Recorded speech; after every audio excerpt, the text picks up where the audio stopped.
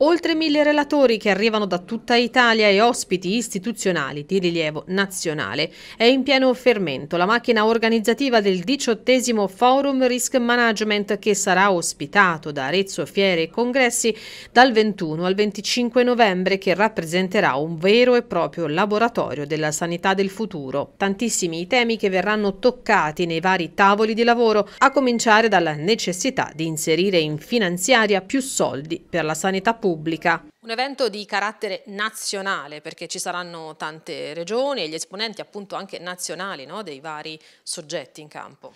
Sì, ci sarà il ministro, ci sarà il sottosegretario, ci saranno i governatori di alcune regioni, ci saranno i dirigenti di tutte le regioni e soprattutto una grande parte dei direttori generali, sanitari e amministrativi di tutte le aziende sanitarie, perché il cuore del forum qual è? È cercare di mettere insieme tutti gli attori, quelli che si chiamano gli stakeholder, per condividere idee, progetti e soluzioni per migliorare il nostro sistema sanitario.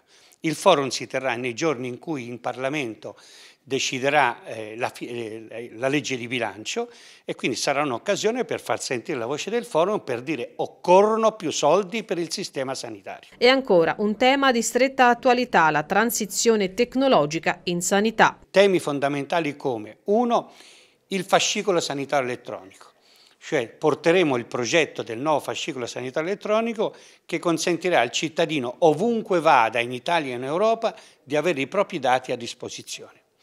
Secondo, la telemedicina, per garantire al cittadino, uno, la migliore facilità di accesso possibile al servizio sanitario attraverso tutti gli strumenti della prenotazione e attraverso poi la possibilità di accedere eh, nel territorio con la Casa della Comunità una volta sola per avere il suo programma di assistenza e, di, e sanità. E poi attraverso il teleconsulto, il telemonitoraggio e il telecontrollo garantire fino a casa del paziente che ci sia questa prossimità tra il medico, l'infermiere e il, e, e il paziente, il cittadino e questa è una cosa importantissima soprattutto per gli anziani, per le persone, le persone più fragili.